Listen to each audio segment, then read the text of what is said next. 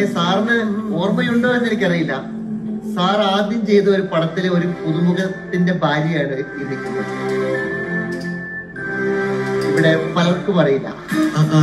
സാറിന്റെ മനസ്സിൽ സാർ ആദ്യം ചെയ്ത പടത്തിൽ ഒരു പുതുമുഖം ഉണ്ടായിരുന്നു! മറവത്തൂർ കരവ് സിനിമയിലെ തുടക്കത്തിലെ മോൻ ആ കല്ലെറിഞ്ഞ് ബിജുമേന സാറിന്റെ കല്ലെറിയുന്ന മോൻ. അല്ല മമ്മൂട്ടി മമ്മൂക്കനെ അടിക്കുന്നു മമ്മൂക്കാനെ കല്ലെറിയുന്ന മോൻ. അയ്യോ വിഷ്ണു. വിഷ്ണുവിനാണോ നീ കല്യാണം കഴിച്ചത്?